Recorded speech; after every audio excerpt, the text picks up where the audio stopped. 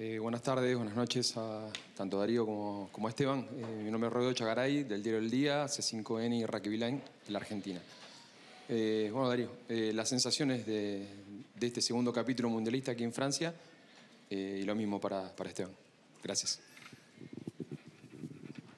Buenas noches, Santiago. Me llamo no, Darío. A ver, claramente las, las sensaciones son frustrantes, no son buenas. Este, todos ya sabían acá que nuestro objetivo era ganar el partido. Eh, lo, pusimos arriba de la mesa y, y nos tenemos que hacer cargo de eso. Creo que sí, que hicimos lo mejor que pudimos con nuestros errores, con intentándolo hasta el último momento.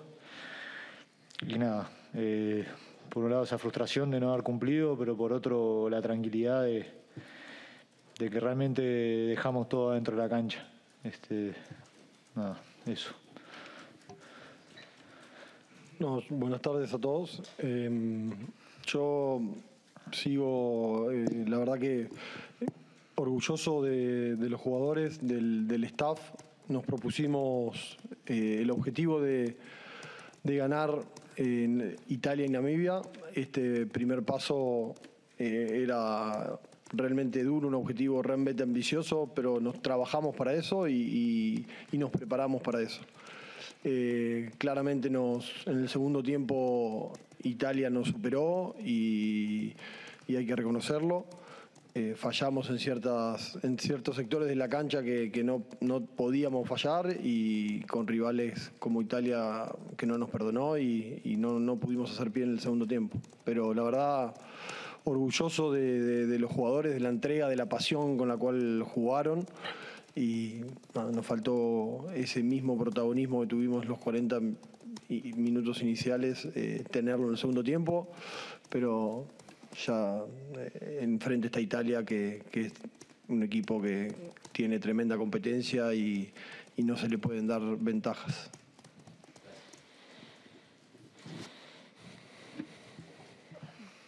Go here in the front row, please, and then here. Eh, Almono, eh, ¿cómo analizás esos primeros 20 minutos del segundo tiempo donde no pudieron salir con el pie directamente, dejaron muchas pelotas con- para que ellos se vinieran con mucha velocidad, como más les gusta a ellos? ¿Qué pasó en esos primeros 20 minutos donde, como decías vos, no pudieron ser protagonistas y, y los vieron venir y, y realmente ellos marcaron mucha diferencia física? Sí, hubo, hubo errores de- del juego con el pie. eh, errores, eh, tuvimos una amarilla, eh, es decir, los primeros minutos eh, que, habíamos planificado seguir con el mismo protagonismo y seguir jugando, no, no, salía, a veces no salen las cosas y, errores en nuestro campo que nos terminan, le terminan dando la posibilidad a Italia de, llegar a nuestras 22 y anotar. Pero nada, seguir, seguir trabajando en eso y creo que, que, que pasa por ahí. En, en esos 40 minutos iniciales que tuvo Uruguay, eh, a, a seguir con eso y a trabajar en, en- en ese segundo tiempo que realmente no pudimos hacer pie.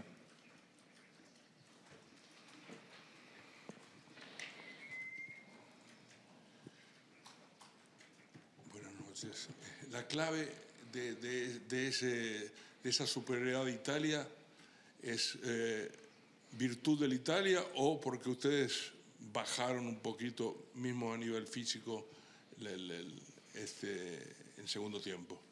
Está, ¿Es mérito de la Italia o porque ustedes en ese momento, no, no con la cabeza, pero físicamente se veía también en, en los puntos de encuentro, eh, bajaron un poco el ritmo? ¿Cómo, cómo lo podemos analizar?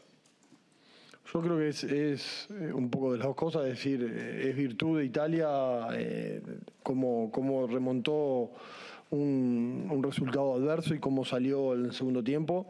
Pero nosotros creo que físicamente, obviamente que, nos fuimos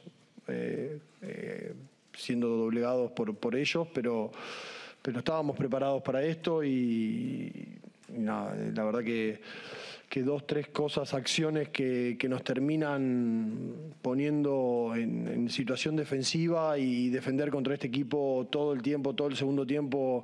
eh, creo que el, el- el territorio del segundo tiempo fue del 33% Así que eh, es, es- es muy, muy cuesta arriba se nos hizo el partido y, y ahí obviamente cuando el equipo se da cuenta de eso se cae anímicamente, se cae mentalmente y se transfiere a lo físico. Pero creo que, que- es un poco de las dos cosas, ¿no? Mérito de ellos obviamente que es eh, tremendo equipo con, con la pelota, así que...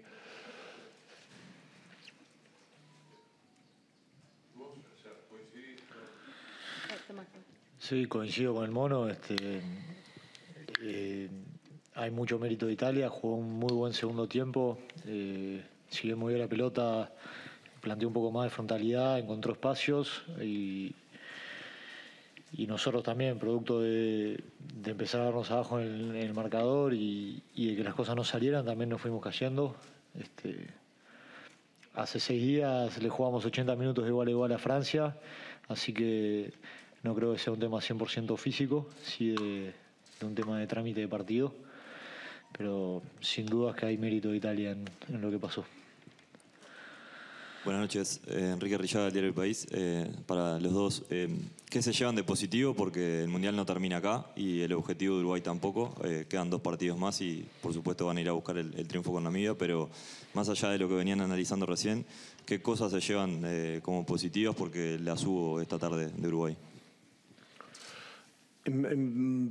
Principio, eh, creo lo, lo más positivo, estoy convencido de esto, es la pasión y la entrega con, con la cual juegan y el que se, el creer en ellos mismos creo que fue determinante y, anima a uno a poner un, objetivo tan alto y tan ambicioso y, nos faltaron 40 minutos, creo que eso es recontra positivo.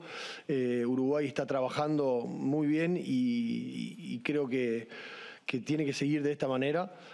Y creo que, pasa por ahí los primeros 40 minutos en el cual eh, nosotros fuimos protagonistas, tuvimos la pelota, hicimos daño, eh, es muchísimas cosas positivas, mucho también para trabajar, son eh, estos partidos eh, te dan muchísima información para, para nosotros seguir mejorando y seguir trabajando.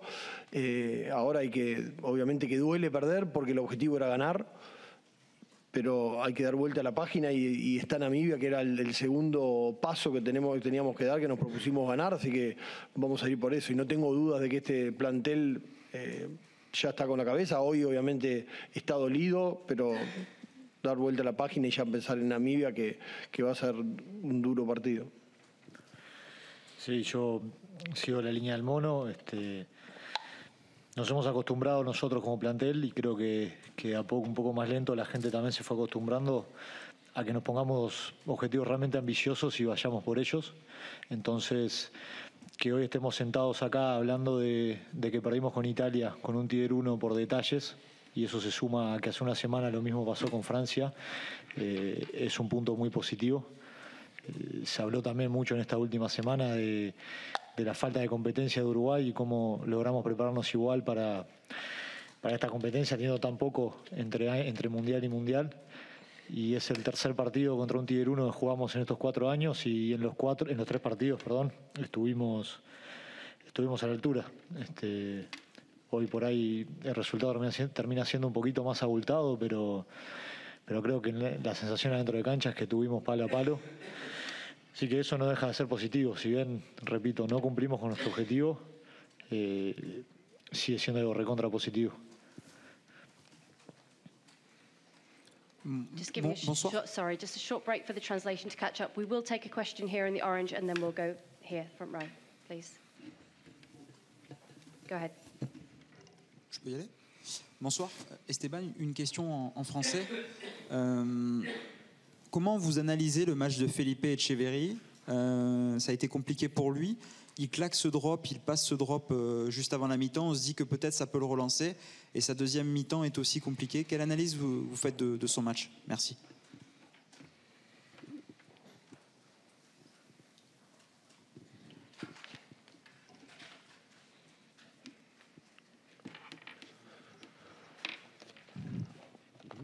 Que tuvo, tuvo 40 minutos eh, de- donde nos puso en el lugar que nos puso y En el segundo tiempo, eh, nada, hubo, errores que, que obviamente que está- están también del lado de la, de la conducción, pero es todo un equipo, no es recargarle a nadie de, la responsabilidad de nada, sino es, es todo un equipo, es todo un plantel, eh, es una estrategia, es decir, no, sí creo que Tite Echeverry, lo- los 40 primeros iniciales minutos, los, los primeros 40 minutos iniciales hizo jugar al equipo como nos tiene acostumbrado y hay que seguir trabajando en eso, apostando en eso, porque es el que nos hace de- la diferencia a la hora de jugar.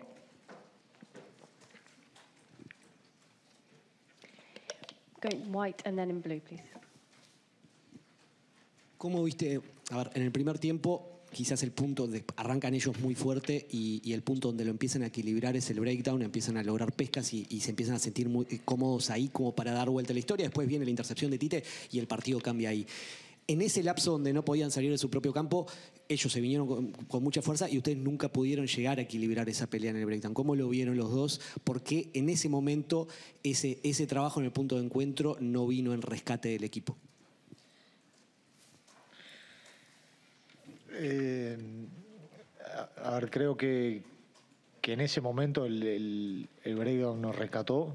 Este, estaba hablando de que Italia en los primeros minutos se largó a jugar como sabíamos que se iba a largar y, empezamos a hacer pie ahí. Este, nada, también es frustra- es frustrante para ellos ver que, se tiran a atacar y cada vez que, caen al piso aparece un pescador uruguayo y se lleva la pelota. Este, Manuel Ardado en ese sentido hizo un partido increíble, pero si no me equivoco hubo alguna otra pesca. Y después son, son decisiones, son situaciones de partido. Este, hay veces que simplemente la oportunidad de pescar no está, o porque, o porque te ganaron el contacto, o porque en vez de tirarte a pescar hiciste un doble tackle, o simplemente porque circulamos. Eh, no sé, la verdad no, no, no encuentro mucho más explicación que esa. Creo que en ese momento puntual del partido nos ayudó mucho y después, eh, nada, también es mérito de Italia, de, que imagino yo que en el entretiempo deben haber corregido o deben haber hablado de, del punto de encuentro, ¿no? de, los apoyos de estar antes, porque el primer tiempo en ese sentido nuestro fue muy bueno. Sí, a ver, yo coincido en el, en el primer tiempo, nuestros contactos eran, eran positivos, eran mejores y, y nos dio la oportunidad de pescar y traer dos o tres pelotas. Eh, en el segundo tiempo todo eso se empezó, a- los contactos empezaron a hacer para atrás y es difícil eh, empezar a jugar el breakdown defensivo cuando, cuando te ganan el 1-1 y creo que, en el segundo tiempo pasó un poco de eso, de, ganarnos eh, el 1-1 y, y se nos hace difícil ahí eh, todo.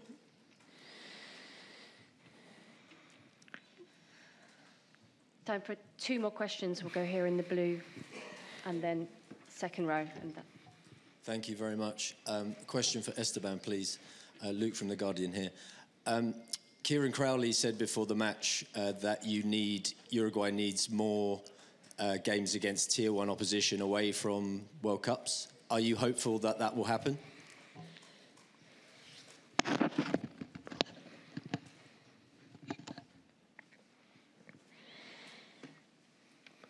Eh, yo creo que Uruguay, tanto el partido con Francia como el partido con Italia, de jugar igual igual contra un Tier 1, eh, da, habla, habla por sí solo lo- los dos partidos que, que hicimos y, y creo que esa competencia, si, si queremos que Uruguay mejore y siga creciendo, creo que, que la- es la que tiene que venir.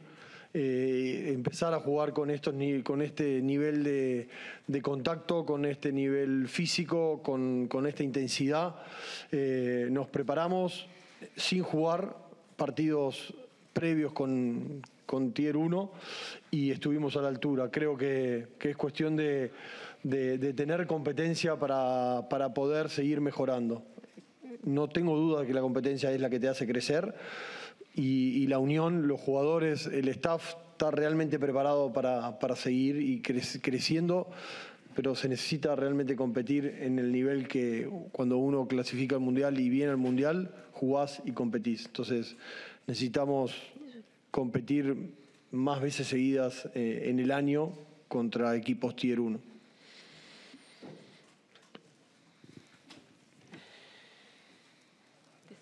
Will be the very final question. Posso chiederti in italiano o in... Vai. Eh, il calo fisico nel secondo tempo è sembrato netto. Pensi che i cinque giorni soli hanno fatto la differenza? I cinque giorni di riposo rispetto al match con la Francia? L'Italia ne ha avuti dieci rispetto alla prima partita. Eh, sì, è, è stato. So- Sono sei giorni che, che abbiamo fatto entre partita e partita, ma mm, sappiamo quando siamo arrivati qua che, che era quello e ci prepariamo per, per quello. No, no, non è una scusa, eh, perché mm, il tempo de- che hanno giocato molti giocatori eh, contro la Francia, Francia han- abbiamo uscito sei forwards per preparare la partita dell'Italia, quindi no, no, no, è, non è una scusa. Eh, eh, no, no, no, fisicamente eh, eh, abbiamo arrivato bene. Eh, Italia ha fatto un buon lavoro in attacco e va, va.